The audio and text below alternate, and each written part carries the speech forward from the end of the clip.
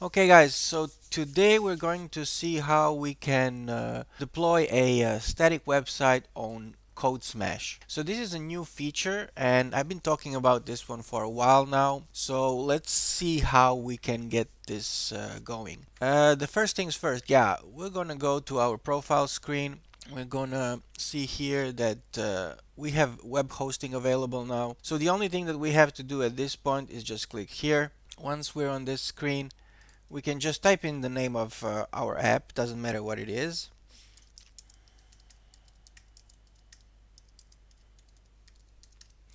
Okay this should be good enough. And we just uh, click deploy. At this point our app is going to start deploying it takes a while and uh, you can just go and uh, visit another tab. It uh, doesn't really matter. But once it actually starts deploying right you will be able to uh, see it right here. It's going to be the first one. So here's the thing uh, it actually takes up to six or seven minutes for this app to be deployed. So even if you go here you will be able to see that uh, you can't actually see the values of any of these services, right? And if you go to the pipeline tab, you'll see that it's uh, in deploying state. So like I said, you can just go and uh, visit any other tab and once it's deployed, you will be able to see all the services that are uh, created on your AWS account for this specific app. So we're going to come back and uh, look at our app once it has been deployed and we're back. So as you can see guys our app is here. We can go and click on it and see the details now the services are finally loading. Uh, so on this here screen we can clearly see that there are three services that have been set up for us on our AWS account. So that's an S3 bucket and this is where you're going to be storing your files that are going to be hosted and that are going to be served through your website. You have an AWS Lambda at Edge which means this is going to be used to process the routing request for your website. And the last one is AWS CloudFront, which is actually a CDN, which is going to be distributing your static files globally so that uh, any user regardless of uh, their location they can basically just uh, visit your website uh, with minimal latency and uh, see the website as uh, fast as possible. The other things are just regular features with CodeSmash that you will see when you're also launching the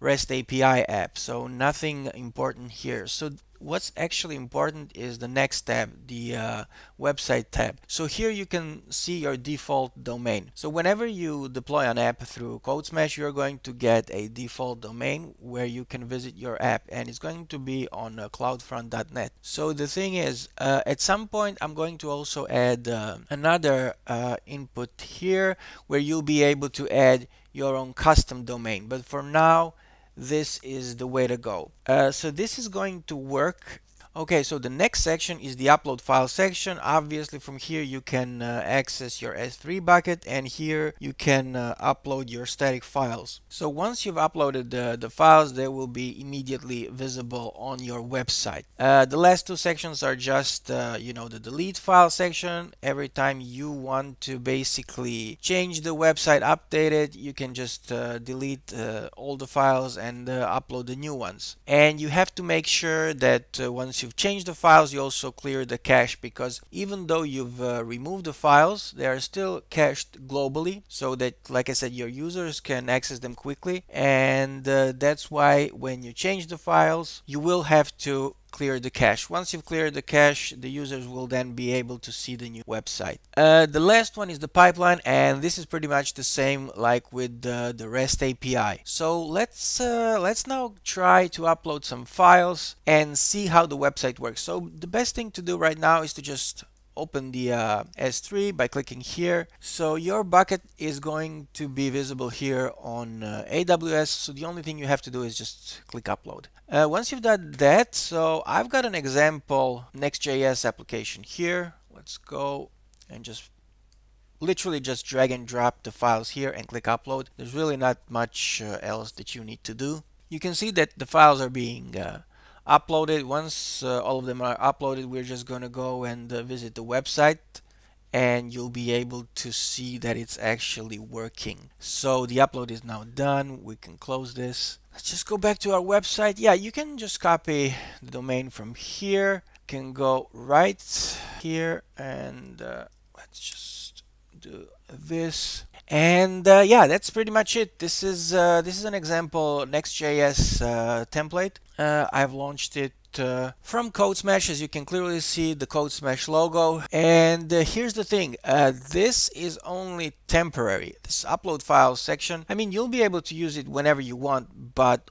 ultimately if we go back to the main page the next thing that uh, I mentioned that we're that you will be able to deploy is uh, this app here, the uh, Next.js app. So basically what you'll be able to do is uh, just click on the uh, app and, um, and once you've clicked uh, deploy, this specific app is going to be built and all the files are automatically going to be sent to your S3 bucket.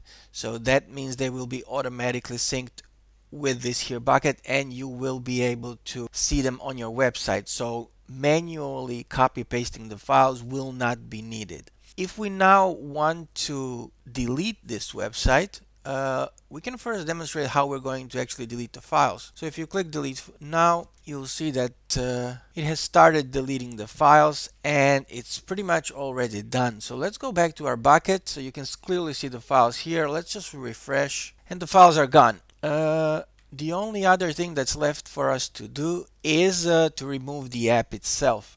Uh, here, there's one thing that you just need to do and just click uh, delete now. Here's the thing with uh, this specific uh, application on AWS. So CloudFront, when it's connected with the Lambda at Edge functions, when you try to delete them on the first run, it uh, it will just not delete them, meaning it's not going to finish successfully. So here you will just see where it says in progress instead of saying succeeded once it's done it's going to say failed but that's really not that big of a deal because the only thing you have to do after you see this just click on retry here and once it finishes and it says uh, succeeded then you'll be able to see this button here light up and you'll be able to click on it and you delete your app. So this is actually going to take up to 15 minutes, which is why we're going to come back and look at this section uh, once it's done. And we're back. So you can clearly see here guys that uh, the status is like I said failed and you have a retry button here. Once you've clicked on that it's going to start redeploying and it's going to go into succeeded status after that. So once that's done, you will be able to just uh, delete your app by uh, clicking this button here. So let's just uh, let this run and again we're gonna come back when it's uh, finished. And we're back again. As you can see guys, uh, the delete now button here is available and the status of the pipeline is succeeded. So the only thing you have to do now to completely get rid of this app is just click here delete now. It's going to delete your app and uh, it's going to redirect you back to the apps list. So once that's done, the app is going to be removed.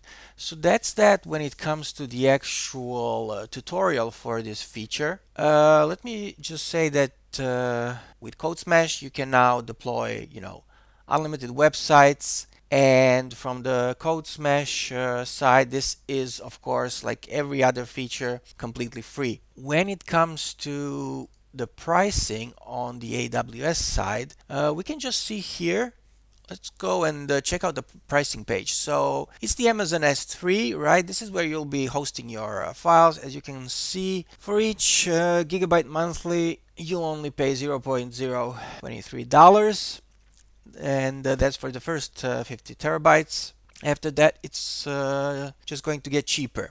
Then after that, we got another service that we're using. Like I said, we have Lambda at Edge. And the pricing for this one is actually it's actually 60 cents uh, for 1 million requests, right? So that's uh, next to nothing. You're probably not going to have uh, 1 million visits uh, a month, so that's uh, that's really really low. Uh, let's see what else. Yeah, now for the uh, CloudFront pricing, you can see here that for the first 10 terabytes, and uh, again, just gets uh, cheaper from here. For but for the first 10 terabytes, you will just pay per gigabyte $0.085 which is literally next to nothing. If we now compare this to Vercel, and as you might know that uh, at some point you're going to outgrow the hobby plan and you'll be using the uh, pro plan. And that's going to be $20 each month per user.